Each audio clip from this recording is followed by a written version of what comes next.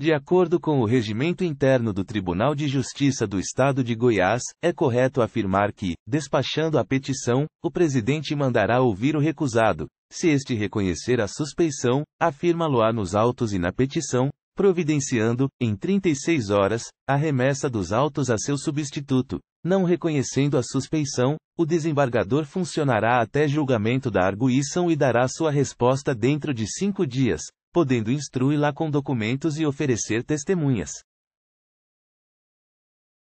Analisando a questão, você responde, verdadeiro ou falso? O gabarito é falso. Artigo 82.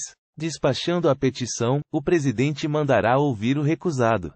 Parágrafo 1. Se este reconhecer a suspeição, afirma-lo-á nos autos e na petição, providenciando, em 48 horas, a remessa dos autos a seu substituto.